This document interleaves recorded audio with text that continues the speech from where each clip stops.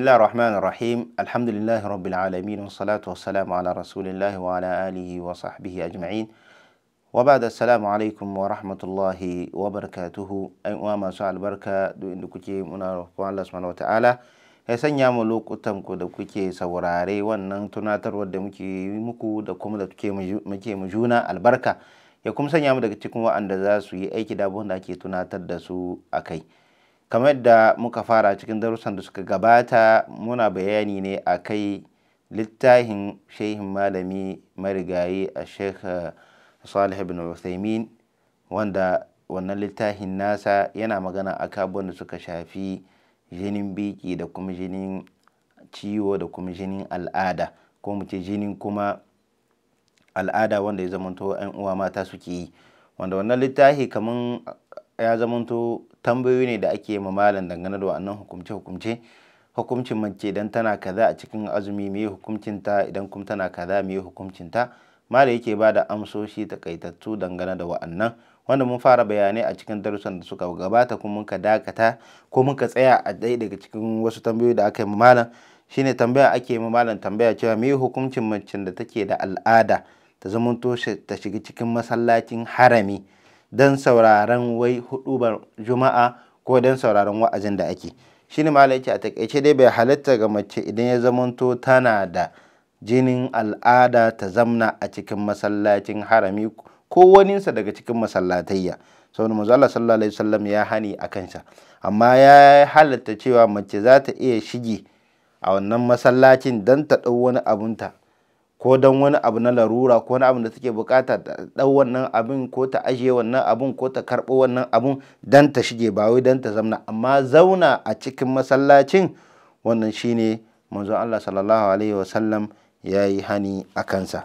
Wannan takaitaccen amsar da malam ya ba da akan wannan kenan daga cikin tambayoyin da aka yi ma malam aka ce shin mace wanda jini yake zo mata ko da yaushe? To tana yin arwalla ne duk lokacin da za ta yi wani sallah na farilla. Bi mana jinin ciwo kenan. Kenan macen da Allah subhanahu wataala ya jarabce ta da jinin ciwo to lokacin da za ta yi sallah a zuhur ko la'asar ko magariba ko isha'i ko asuba duk lokacin sallan da ya shigo inda ya zama to jini da ke zo mata na ciwo ne bai tsayawa to sai ta yi arwalla duk kowane lokacin sallah sai ta yi sallah. To shi mai tambaya yake ce to shin ya halitta bayan na yi wannan sallah na farilla na yi wasu salloli na nafila bayan haka ko karanta alkur'ani da wannan arwallan da na yi shine ma ce ƙwarai kwa in dai mace tana da wannan cuta ta yi arwalla don ta yi sallar farilla. Tana gama sallar farilla falaha an tusalli ma sha'at min furudin wa nawafil wa qira'atul qur'an. Mala ce ya halitta ta yi sallah na farilla da wannan arwalla? Sannan kuma ta yi sallah na nafilfili kuma ta karanta alkur'ani da wannan arwallan da ta yi. Saboda haka wannan shine takaitaccen amsa da malai ba da akan haka. To shine suka tambaye malam cewa to shin ya halitta wannan matar da aka ce idan tana da jinin ciwo za ta yi arwalla akan kowane sallah? To sai ta yi arwallan sallah asuba. Da ta ƙare sallah asuba to shin ya halitta ta yi sallan waduha? Sallan waduha ta yi shi da wannan arwalla? Shine mala ya ce la yasihhu lianna salatu duha mu'aqqatatun fala budda min alwudu'i laha ba'da dukhuli waqtiha. Mala ya ce bai halitta ba saboda wannan sallar adduha waluha'in yana da lokacin shigar to saboda lokacin idan ya shigo to dole sai ta yi wani arwalla sannan ta sallaci wannan. Saboda ta zamanto kal mustahaba kamar mace wadda ta zamanto tana da jinin ciwo. Daga cikin tambayoyin da aka yi ma malam kuma akan cewa shin ya halitta? Fama huwa akhir waqtul isha. Hal yasihu an tusalli hadhihi al-mar'a qiyam al-layl idan qadat nisfa al-layl min wudu' al-isha? Daga cikin tambayoyi da aka yi malam suka ce shin ya halitta mace ta zamanto wadda take wannan arwalla? Mai jinin ciwo ake magana har yanzu. Ta yi arwalla ta yi sallar isha'i. To sai tana son rabin dare ta tashi ta rinka na filfilu arwallan tukun bai kare ba kuma dama jinin ciwon nan yana rinka zo mata. Shin ya halitta da wannan arwallan da ta yi na isha'i ta ci gaba da yin na filfilu da dare? Sai mala ya ce la sai mala ya ce la mala ya ce bai halitta ba. Idan qada nisfal layli wajaba alaiha an tujaddida alwudu. To matuƙar rabin dare idan ya kai tana son ta tashi ta yi na filfili sai ta ƙara wani arwalla kuma. Wala yalzamu an tujaddida alwudu wa huwa rajih. So mala ya ce kuma wasu suka ce kuma waƙila la yalzamuha an tujaddida alwudu wa huwa rajih wasu malama suka ce a'a matuƙar ta yi sallar isha'i da wannan arwalla sai ta so kuma ta ci gaba da yin sallar nafilfilu na dare. Wasu malama suka ce ba dole sai ta maimaita arwalla ba. To aka yi malam tambaya cewa wai shin wai meye rabin daren nan da ake cewa idan ya kai lokacin isha'i ya kare fama huwa akhir waqtul isha fil layl. Shi ne lokacin ƙarshe na lokacin sallar al-isha'i da dare. Shine ce lokacin ƙarshe na sallar isha'i shine rabin dare. Idan dare ya rabu kashi biyu. To ya za a gane kasuwan dare kashi biyu? Shine ma ce daga lokacin da rana za ta faɗi har lokacin da asuba alfijiri zai keto to sai a duba ƙarfe nawa rana ya faɗi da kuma ƙarfe nawa alfijiri ke ketowa. To sai a duba awa nawa ne. Idan misali an ga cewa awa shida ne tsakanin faɗuwar rana da kuma fitowa alfijiri to kenan rabin dare shine ƙarfe uku na dare. Kenan ƙarfe uku shine rabin dare. To wannan lokaci shine malam ce shine ƙarshen lokacin sallah. Daga cikin tambayoyin da aka yi malam ake tambaye malam dangane da abubuwan da suka shafi wata mace ce take ba da tarihin ta cewa ita haƙiƙanin ta zamanto mace ce tana sallah tana komai amma bata taɓa yin arwalla ba. Tana sallah tana komai amma bata taɓa yin arwalla ba. To shine mala ya ce alaiha an tattaqillah wa an tatuba ila Allah azza wa jalla wa tas'alu ahli al-ilm bidhalik. Saboda haka ya kamata ta ji tsoron Allah kuma ta tuba zuwa ga Allah subhanahu wa ta'ala dangane da wannan kurakuran da ta yi ko kuskuren da ta yi na cewa ba ta arwalla idan tana sallah. Wannan babban zunubi ne kuma akwai maluman da ma suka kafirta cewa duk wanda ya arwalla ba sallah da gangan mutum ya kafarta. Saboda haka Allah ya kiyaye mu. Ya kamata yan uwa mata ya zamanto wannan abubuwan da suke bijiro mana na hukumce hukumce ya kamata mu zamanto muna tambayan maluma da sauransu don su wayar mana da kai akan shi.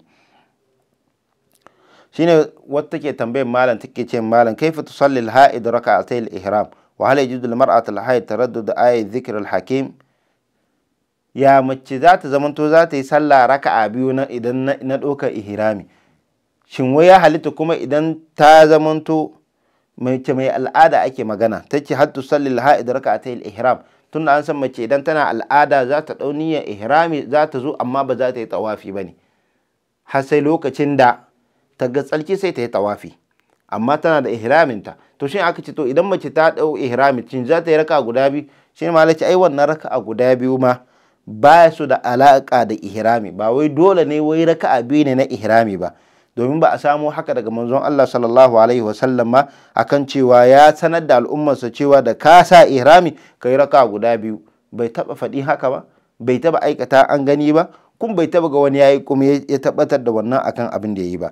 Shine malike dangane da tambayar cewa shin wai za ta karanta qur'ani ko ba za ta karanta malike laha an takrar qur'ani sai ne ma ya ce fanam alhaid la haqqul qira'a an takrar qur'an inda alhaja.